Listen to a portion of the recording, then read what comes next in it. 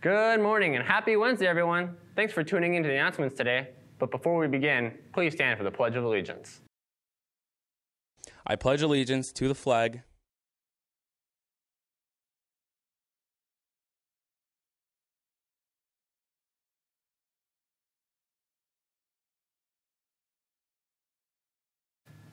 Let's start off with a weekend update.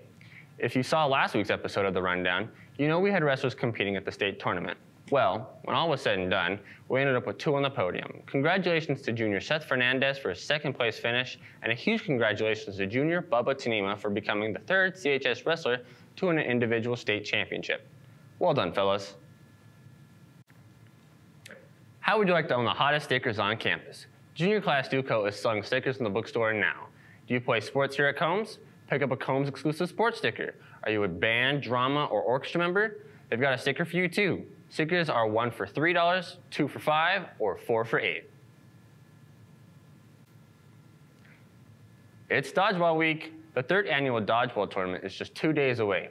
If you don't have a team yet, what's your problem? Today's the last day to register, and all fees must be paid by Friday. Gutbusters are back with a performance today after school in the Black Box. Admission is $3. Come out to support the freshman class StuCo for a fundraiser Raising Cane's tonight from 5 to 9.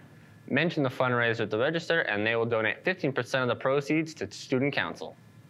Freshman civics testing is tomorrow. If you are a freshman and you should have received a study guide in your first hour class, please, please report to room 506, 507, or 508 tomorrow morning after checking with your second hour teacher. If you're a senior who hasn't passed the exam, check in with your teacher and report to a testing classroom as well. Didn't get enough school this week? Well, you're in luck. There will be Saturday school this weekend.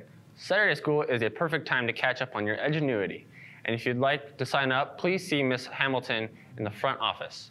Saturday school will be held in the library from 8 a.m. to noon.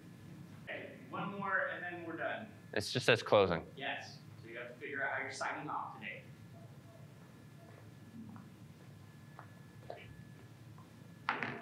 Put me on the spot here. Thanks for listening to me my mumble my way through the announcements. Catch me tomorrow where we'll have subtitles to understand what I'm saying. See you later, coyotes.